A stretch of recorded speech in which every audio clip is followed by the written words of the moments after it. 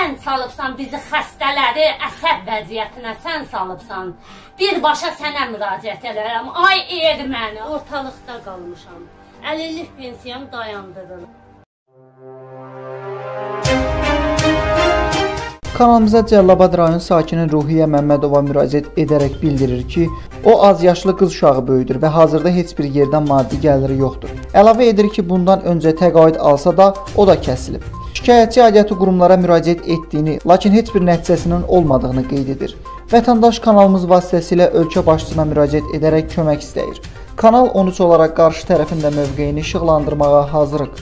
Təfərrüatlar video reportajda. Ölkə başçısı İlham Əliyevə müraciət edirəm. Birbaşa olaraq ancaq ondan kömək istəyirəm. Başqa qurumlar mənim kömək göstərmirlər. Ancaq mənim kömək eləyən prezidentimdir İlham Əliyevdə. Ancaq ona müraciət eləyirəm. Mənim evim yoxdur. Mənim iş yerim yoxdur. Mənim yoldaşım yoxdur. Atam, anam yoxdur. Bir dənə qız uşağıdır himayəndə, az yaşlı uşaqla. Ortalıqda qalmışam. Əlillik pensiyam dayandırılıb. Mən edə bilərəm? Müraciət eləyirəm hər yerə. 2 dəfə nazirliyə getmişəm. Hər bir sənədlərimi hazırlamışam. Mehriban Əliyevə 2 dəfə teleqrama vurmuşam, cavab almamışam. Nazirlikə getmişəm. Nazirlik məni yönəldib VTK. VTK sənədlərimə baxıb deyib sənə düşmür. Baxış keçirtmədən sənədlərimə baxdı. Sənədləri üstümə tulladı, dedi sənə düşmür əlillik pensiyası.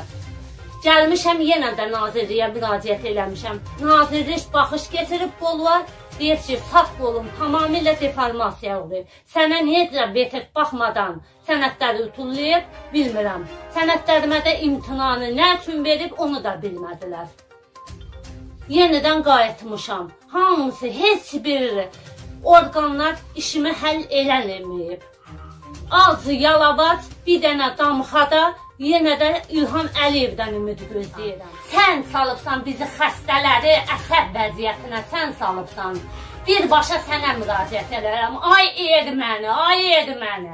Sən niyə bu xalqı bu günə qoyubsan? Niyə milləti bu günə qoyubsan? Niyə əlillik pensiyələrini dayandırırsan? Saxtaları dayandır, əyanlara baxış keçirsinən təyin eləcinən pensiyaları. Qoy dolanaq, qoy xəstəliyimizi müalicə eləyək. Sən niyə İlham Əliyevə qarşı bir narazı kütlə yaradırsan? Sən niyə baxış keçirdən komissiyalara tapşırıq vermirsən ki, düzgün işləsinlər? Niyə sən ancaq tapşırıq verirsən ki, ildə 3 dəfə 3 dənə 50-lik keçid qalanını at, atın hamara? Bəs bu ölkənin vətəndaşı biz deyilikmi? Bəs biz xəstələrə niyə nəzarət eləyə bilmirsən?